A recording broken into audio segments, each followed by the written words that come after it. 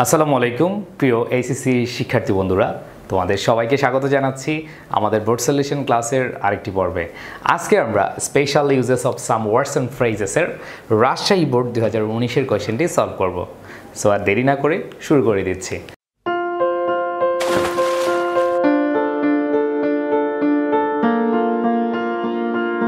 আচ্ছা প্রথমেই আমি তোমাদেরকে সলিউশন করতে গেলে যেটা একটু দেখানোর চেষ্টা করি, সেটা হচ্ছে যে অপশনগুলো রয়েছে, সেই অপশনগুলো সম্পর্কে একটা বেসিক ধারণা দেওয়া। ঠিক আছে? তো সেটাই আমরা একটু খেয়াল করব। যেমন দেখো, এখানে আছে হ্যাড বেটার এখানে কি আছে? হ্যাড বেটার সো হ্যাড বেটারের বিষয়টা একটু ক্লিয়ার করি। হ্যাড বেটারটা আমরা শুট বা উচিতের মতো ব্যবহার করে থাকি। সো হ্যাড বেটারের পরে ভার্বের বেস ফর্ম আমরা ইউজ করে থাকি। এটা হচ্ছে কোনো কিছু করা উচিত এমন বোঝায়। অ্যান্ড দেন পরবর্তী হচ্ছে লেট অ্যালন লেট অ্যালন মানে হচ্ছে চিন্তা করা যায় না বা ভাবা যায় না। ঠিক আছে? এটা এরকম যে, তুমি তো লাল চাই পাও না দুধ চা তো দূরের কথা। অথবা তুমি হচ্ছে এখানে একটা এক্সাম্পল আছে, আমি একটু এটা না দিয়ে আমি আরেকটা দিচ্ছি। তুমি তো মিয়া বাইকেই চড়তে পারছ না, আবার তুমি হচ্ছে এরোপ্লেনও তুলবা বা উঠবা। তাই না? সো এরকম কিছু বোঝায় যে লেটলন দ্বারা হচ্ছে কোনো কিছু ভাবা যায় না বা চিন্তা করা যায় না বোঝায়। আর হোয়াট ডাজ লুক লাইক এই বিষয়টা আমি তোমাদেরকে একেবারে সব সময় বলি যে এটা আসলেই মেরে দিবা। এটা হচ্ছে দুইটা শূন্যস্থান থাকবে। কয়টা? দুইটা শূন্যস্থান। সো দুইটা শূন্যস্থান থাকা মানে হচ্ছে কি হবে? What does look like what does look like okay এরপর যেটা হচ্ছে সেটা হচ্ছে অ্যাজ সুন অ্যাজ কি আছে? As soon as as soon as দ্বারা হচ্ছে সময় বুঝাবে এবং এটা মানে হচ্ছে যেই না মাত্র। যেমন যেই না মাত্র আমি ক্লাসটা শেষ করলাম, আমার বন্ধু এসে হাজির। ঠিক আছে? যেই না মাত্র আমি খাওয়া দাওয়া শেষ করলাম, বাবা এসে হাজির। সো এই জায়গাটা আমরা কি ইউজ করে থাকি? অ্যাজ সুন অ্যাজ এরপর হচ্ছে অ্যাজ ইফ এবং অ্যাজ দো আমি এর আগেও কয়েকবার বলেছিলাম, সেটা হচ্ছে অ্যাজ ইফ অ্যাজ দো এর মানে হচ্ছে যেন। অ্যাজ ইফ অ্যাজ দো যেন, এর আগে যদি প্রেজেন্ট থাকে, এরপর আমরা পাস্ট ইনডিফিনিট ইউজ করি। তো মাথায় রাখতে হবে, যদি পাস্ট ইনডিফিনিট ইউজ করি, সেখানে যদি বি ভার্ব আসে, কি আসে? বি ভার্ব আসে। বি ভার্ব আসলে একটু মাথায় রাখতে হবে যে বি ভার্ব থাকলে আমাদেরকে ওয়াজ না বসিয়ে ওয়ারকে বসাতে হবে। কারণ আমরা জানি পাস্ট ইনডিফিনিট টেন্সে কি হয়? ওয়াজ এবং ওয়ার এই দুইটা হয়। বাট সেখানে আমাদের অগ্রাধিকার দিতে হবে কাকে? ওয়ারকে কাকে অগ্রাধিকার দিতে হবে? ওয়ারকে অ্যান্ড দেন পরেরটা হচ্ছে দেয়ার এটা বলে introductory there so introductory there বিষয়টা একটু খেয়াল করি। ইন্ট্রোডাক্টরি ইটও হয়, আবার ইন্ট্রোডাক্টরি দেয়ারও হয়।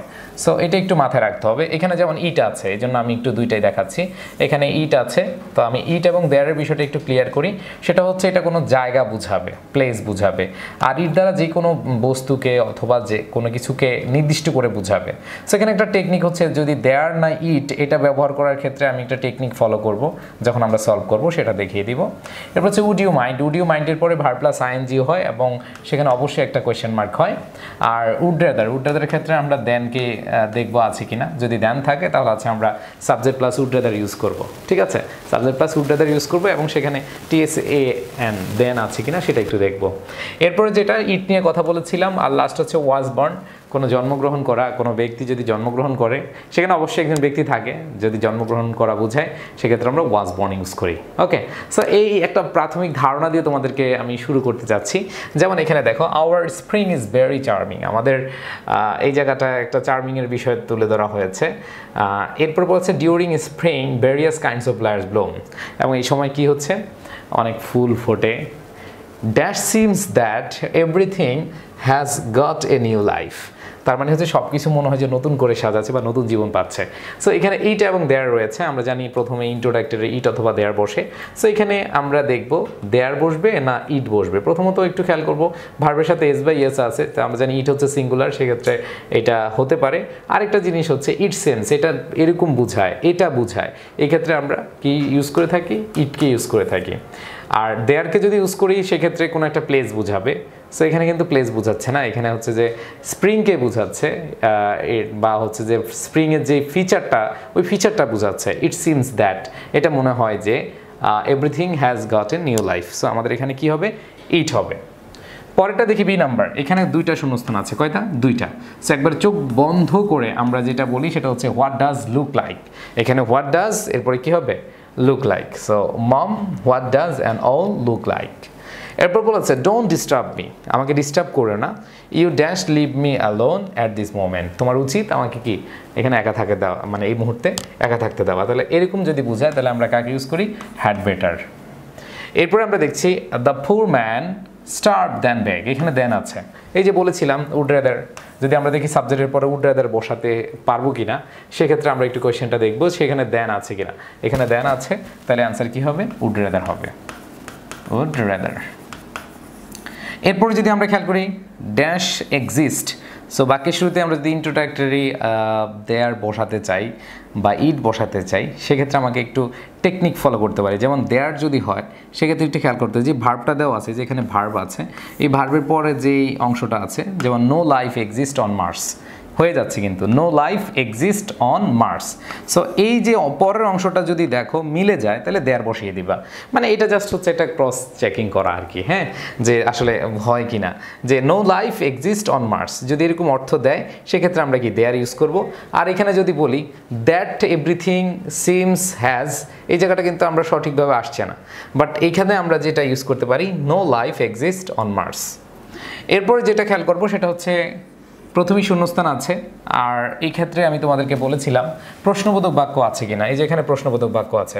প্রশ্নবোধক বাক্য আছে মানে চিহ্ন আছে। প্রশ্নবোধক চিহ্ন আছে এবং এরপরে উডিও মাইন্ডের পরে ভার প্লাস আইএনজি হয়। সো এখানে দেখতে হবে ভার প্লাস আইএনজিটা আছে কিনা। যদি ভার প্লাস আইএনজি থাকে, তাহলে আমরা কি? উডিও মাইন্ড নিব। কাকে নিব? উডিও মাইন্ড তাহলে would you mind taking tea with me এরপরে যেটা খেয়াল করব, sir Walter Scott was both a poet and novelist he dash in seventeen seventy one. জন্মগ্রহণ করার অর্থ বোঝাচ্ছে, তাই না? সো জন্মগ্রহণ করার অর্থ বুঝালে আমরা জানি, সেটা হচ্ছে কি ওয়াজ বর্ন আমাদের চোখ বন্ধ করে অ্যান্সার কি হবে? ওয়াজ বর্ন এরপরে আমরা যেটা খেয়াল করব, সেটা হচ্ছে she acts she were mad এইখানে। একবার ছোটোবেলা থেকে আমরা জেনে আসছি হি অথবা শি এগুলো হচ্ছে থার্ড পার্সন সিঙ্গুলার তাই না? সো থার্ড পার্সন সিঙ্গুলার হলে আমরা কি ওয়ার বসাই না ওয়াজ বসাই? অবশ্যই কি ওয়াজ বসাই বাট এখানে ওয়ার হয়েছে। আর এই ওয়ার হওয়ার কারণটা হচ্ছে, আমি তোমাদেরকে এর আগে বলেছিলাম অ্যাজ ইফ অ্যাজ দো এর মানে হচ্ছে যেন। অ্যাজ ইফের আগে যদি প্রেজেন্ট ইনডিফিনিট থাকে বা প্রেজেন্ট পারফেক্ট থাকে, এরপরে কি হয়? পাস্ট ইনডিফিনিট হয়।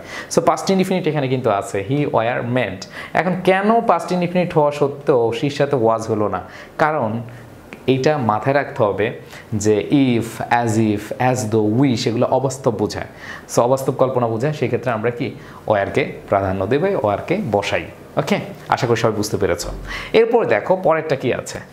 Dash we reach the station the train started so আমরা যেই না মাত্র স্টেশনে পৌঁছালাম দ্য ট্রেন স্টার্টেড চালু ট্রেনটা হচ্ছে ছাড়লো। সো এখানে আমরা দেখতে পাচ্ছি সময় বোঝাচ্ছে, যেই না মাত্র। সো এক্ষেত্রে আমরা কাকে ইউজ করব? অ্যাজ সুন অ্যাজ আমরা কাকে ইউজ করব? As soon as and then লাস্টেরটা হচ্ছে he didn't even see a hill তিনি, সে হচ্ছে কখনো পাহাড়ই দেখে না এ মাউন্টেন পর্বত দেখার তো দূরের কথা বা ভাবা যায় না।